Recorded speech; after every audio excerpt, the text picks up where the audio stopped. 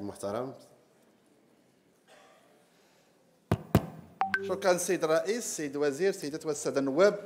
سيد الوزير لا يخفى عليكم الخصاص اللي كتعرفوا الجماعة الترابية في الموارد البشرية لذا نسائلكم عن الإجراءات المتخذة لمعالجة هذا الوضع. شكرا. شكرا سيد النائب المحترم. السؤال الثاني وهو آلي دائما لسيدة السادة النواب المحترمين من فريق التجمع الوطني للأحرار.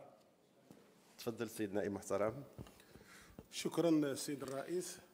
نسائلكم السيد الوزير المحترم عن خطة عمل الوزارة فيما يتعلق بتعزيز وتسمين وتأهيل الموارد البشرية التابعة للجماعة الترابية والنهوض بتدبير الشأن المحلي في علاقته بتكريس البعد التنموي بلادنا. شكرا سيد النائب المحترم السؤال الثالث عن فريق الأسرار والمعاصرة. تفضل سيد النائب المحترم شكرا سيد الرئيس السلام عليكم. السيد الوزير نسائلكم عن التدابير والإجراءات الجديدة التي ستعملون على إخراجها إلى حيز الوجود حول الخصاص الحاد في الموارد البشرية بالجماعة الترابية وكذا النظام الأساسي الخاص بموظفي الجماعة الترابية. شكرا. السؤال الرابع وهو آني دائما للسيدة والسادة النواب الأفاضل من فريق التقدم والاشتراكية. لكم الكلمة سيد النائب محترم. شكرا سيد الرئيس سيد الوزير نسائلكم حول التدابير وتأهيل وتحفيز الموارد البشرية للجماعات المحلية. شكرا سيد النائب المحترم. تفضلوا سيد الوزير لكم الكلمة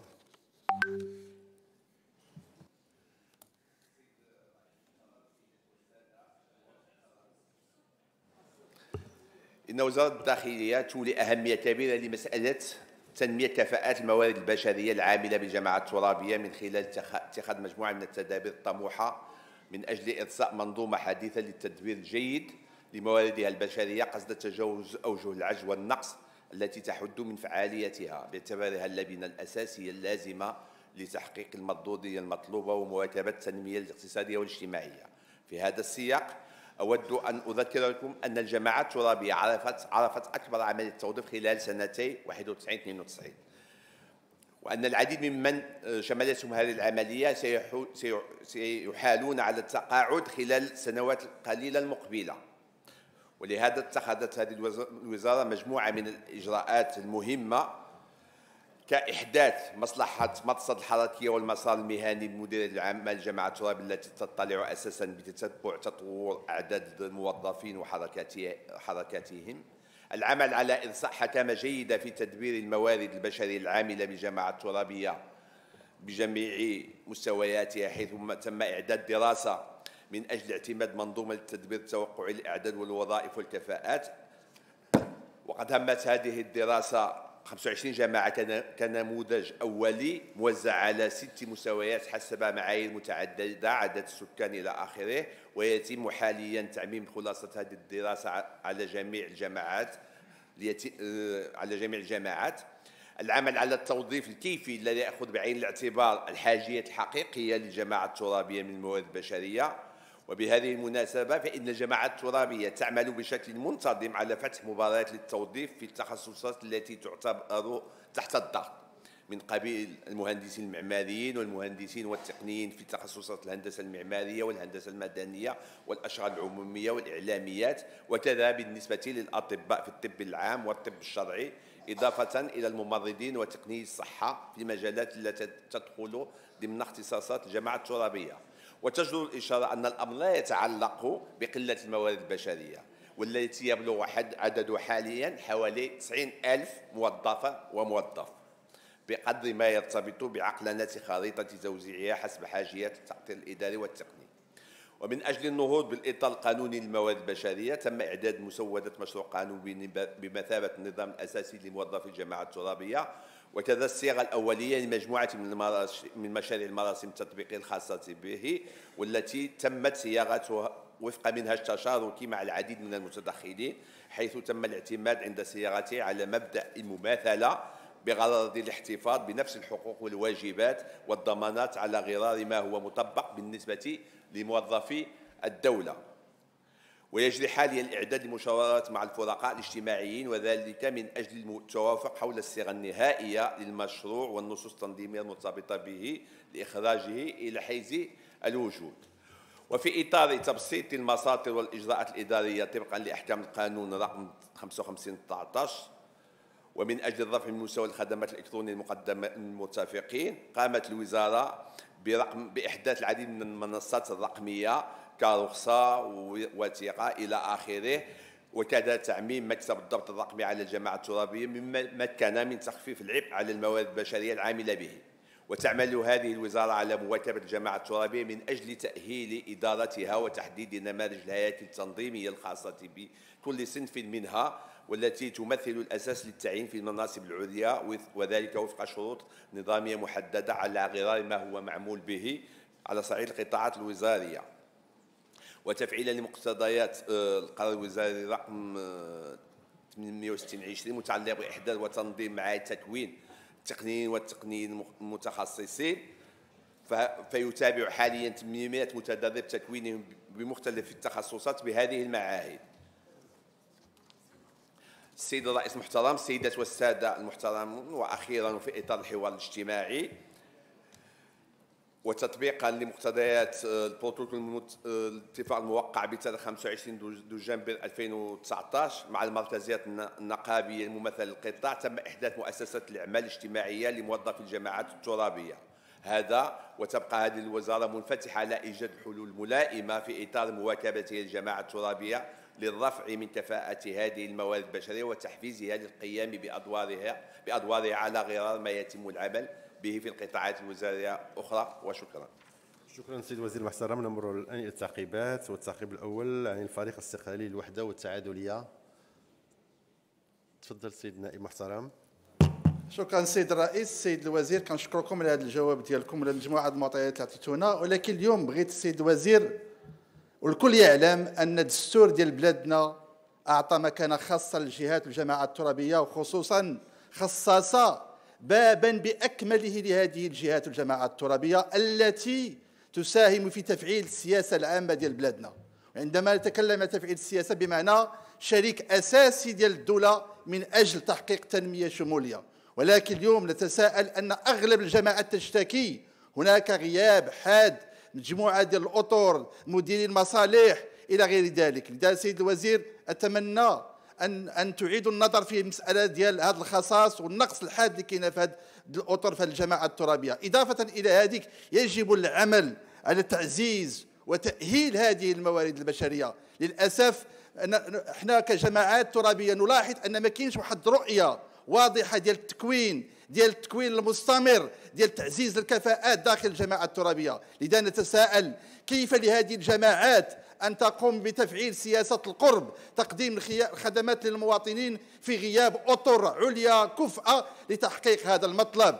لذلك نتمنى أن نغير من الصورة النمطية للجماعات الترابية. هناك جماعات جادة تعمل بجد يجب أن نساهم في تعزيز صورتها لدى المواطن الرأي العام. شكرا. شكرا سيد نائب محترم. نمر إلى التعقيب الموالي فريق التجمع الوطني الأحرار. تفضلي سيدة تفضل سيد نائب تفضل. شكرا سيد الرئيس.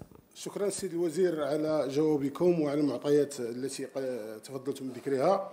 إن الهدف الرئيسي من طرح هذا السؤال يكمن في مدى الرغبة في تحقيق الحكامة الترابية مفهومها الحقيقي عبر بوابة العناية بالموارد البشرية وتعزيزها وتحفيزها واخضاعها لدورات تكوينية مستمرة في العديد من التخصصات. فهي تشكل العمود الفقري وإحدى الركائز الأساسية لممارسة الجماعه الترابية اختصاصها المتعددة وبالتالي فإن إرساء توزيع عادل لها بمختلف المؤسسات ومدها بكل آليات الاشتغال وتحفيز تحفيزها وتكريس حقوقها ومكتسباتها. كلها عوامل من شأنها الإسهام في حسن تدبير المجال الترابي وإنجاح كل السياسات العمومية ذات البعد المحلي والإقليمي. سيد الوزير أنتم تعلمون الدور الذي تقوم به الجماعات الترابية باعتبارها إدارة القرب فعلاقتها بالمواطنين هي علاقة يومية مستمرة وحيوية وتفرض علينا تقويتها وتقوية العاملين فيها عبر انفتاحهم على الطرق الحديثة وعالم التحول الرقمي. غير أنه يلاحظ أن العديد من الجماعات ترى تعرف خصائصا كبيرا من المواد البشرية المؤطرة في ظل ارتفاع عدد المحالين, المحالين على التقاعد. نعم نشكركم السيد الوزير على فتح باب آه، المباريات بخصوص الأطر العليا والتقنية. ولكننا ننتظر آه، أن تفتح آه، المباريات في وجه الإداريين والمحررين لأن الجماعات المحلية تعرف خصاصا كبيرا. وخصوصا نلتمس منكم دراسة إمكانية فتح مراكز التكوين الخصوص آه، الخاصه شكراً. بالكتاب. شكرا سيد النائب المحترم انتهى الوقت نمر إلى التعقيب الموالي لفريق الاصاله والمعاصرة. لكم الكلمة سيد النائب المحترم شكرا السيد الوزير للإجابة ديالكم. السيد الوزير الجماعة الترابية في حاجة ماسه إلى العنصر البشري وهو الركيزة الأساسية لتطوير مهامها وتحقيق أهدافها لأنه يشكل النواة الصلبة في مشروع إصلاحي ويساهم في تطوير أداء الجهاز الإداري في ظل الاختصاصات الواسعة الممنوحة لهذه الجماعة. كما يجب ضخ دماء جديدة من موارد البشرية والعمل على تأهيلها وإخضاعها للتكوين والتكوين المصمم مع إدماج بإخوانهم القدماء الذين سيحالون على التقاعد قصد الاستفادة من تجاربهم وصقل موا- مواهبهم. السيد الوزير هناك مجهودات مبذولة للرقي بعمل الجماعة الترابية على كافة المستويات إلا أن هناك عمل إضافي يجب إقراره لمعالجة ما يلي. إعادة النظر في النظام الأساسي لموظفي الجماعة الترابية لأنه أقل جاذبية بالمقارنة- بالوظائف الإدارية الأخرى. إشكالية قلة الأطور المتخصصة عدم التناسب بين الشهادة المحصل عليها والوظائف المزاولة. شكرا سيد النائب المحترم. انتهى الوقت. نمر إلى التعقيب التعقيب الموالي لفريق التقدم والاشتراكية. تفضلوا سيد النائب المحترم. السيد الرئيس السيد الوزير اليوم الكل كيجمع على أن الأداء ديال الجماعات المحلية اليوم اصبح هزيل لواحد المستوى اللي ما كتصورش. والكل كيعرف أن السبب كيرجع لأن المباريات التوظيفات اللي دارت في العهد السابق ما كانش توظيفات اللي كتخدم المصلحه ديال الجماعات. والكل كيشهد بها وانت شهدتي بها السيد وزير الداخليه داخل اللجنه الداخلية وكنشكروك على هذه المسألة هذه السيد الوزير اليوم حنا اليوم خاص يكون عندنا شوية وحنا منتخبين حنا كمنتخبين خاص يكون عندنا صافي نساو ديك قضيه باك صاحبي. بركه علينا. لا كان شي مباريات كان شي كفاءه تدخل تخدم في الجماعات المحلية. مرحبا. إلا كنا غادي نبقاو باك صاحبي ما غنزيدوش. اليوم الجماعات المحلية ما يمكنش موظف اليوم السيد الوزير كيشد 12000 درهم و ingénieur وكيجي كيدبر لنا آه، واحد 20 ولا 30 مليار ديال الصفقات. راه ما يمكنش. راه اليوم هذاك الموظف خصنا نحميوه السيد الوزير. راه خصنا نعطيو واحد القيمة مالية اللي تقد يعيش بها تا هو يسكن سكن لائق تا هو يقري ولادو في مدارس حرة تا هو تكون عنده سيارة فخمه هو يعيش كيف كباقي. راه راه هما كيعيشوا هذه العيشة ولكن كيعيشوها بطريقه أخرى. حنا ما بغيناش هذا الشيء السيد الوزير حنا بغينا هاد. الناس. شكرا سيد النائب المحترم هل هناك من تعقيب إضافي في الموضوع؟ تعقيبات إضافية في الموضوع لا يبدو. الرد لكم سيد الوزير المحترم شكرا سيدي الرئيس. باش نتكلموا بصراحة نبدأ بالأخير. أنا متفق معك. وأنتم كتشرعوا. ديروا لي من غدا ندخل الناس ب 30000 درهم أنا مستعد. لأن محتاجينهم. عندك الصح. ما يمكنش تعطي واحد 12000 درهم وتعطي لهم الله يسيرهم. لكن اش بغيتي نديروا؟ أنتم كتشرعوا. ديروها. بسم الله. أنا متفق معك. هذه الأولى. الثانية. الخصص اللي كاين راه ماشي في الأعداد. راه قلت لكم في الأول كاين 90000 واحد. الخصص كاين في النوعية ماشي في الكم. اليوم جميع الجامعات الترابيه محلولين مناصب ماليه للمهندسين والأطباء وال- والتقنيين في الهندسة المدنية وفي الإعلامية. فين هما؟ فين هما الناس؟ فين هما؟ متفق معاك خصنا نلقاو حلول باش الناس تجي تخدم. واش نديروا حلول ديال ديال contractuel واش نزيدوا في في ليس خصنا نلقاو حل لأن الإشكال اليوم من غير الجامعات الكبرى المدن الكبرى الجامعات الأخرى ما تلقاش الناس. واخا نديروا اللي درنا راه ما كاينينش. الأطباء راه عشناها باش نصيفطوا الاطباء كل جامعة محتاجة طبيب. والله آه، المناصب المالية راه محلولين عند جميع الجامعات الترابية. شكراً ما كاينش. ولا واحد. شكرا. انتبه معنا سيد الوزير راه يعني سلس, أكثر من اللازم. شفت التوقيت شكرا وشكرا لكم سيد الوزير على حسن مساهمتكم في هذه الجلسة.